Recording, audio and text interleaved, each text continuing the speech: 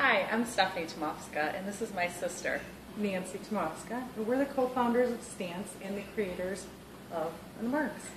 Unmarx is a reusable cleaning pad that you slip on your hand that quickly brushes off any unexpected clothing marks you may get throughout your day. When we first thought of the idea of Unmarx, we went out and found Tamara's book that helped us turn our amazing idea into the next big thing. In reading through this book, we read many stories about people saying it took them a few years to not only invent their product but bring it to market. And we thought, wow, does it really take that long to bring your product to the market? And to our surprise, it does. It took us about two years to do it.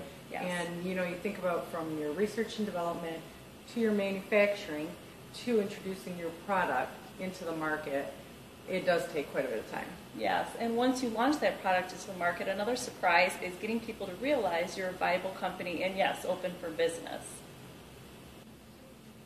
One of the biggest challenges we've had to overcome is getting our customers to our retailers to purchase the product. Yes, and the way we've overcome that is having local or national media, newspapers, magazines, or TV stations cover your story and your product. That's the way to get customers and stores buying your product. We've had many rewards in starting our own business. Yes, One of them being being our own boss. exactly that meaning, you know, being able to have a flexible schedule, doing what you love and you're passionate about, but also having family quality time. Yes, and let's not forget being able to give back to a cause we're passionate about, breast Absolutely. cancer. Yep, with being our own bosses, we are able to be a part of a lot of charitable events they do and participate in these events and give back to a great cause. So, what is the one piece of advice we could give to other aspiring entrepreneurs?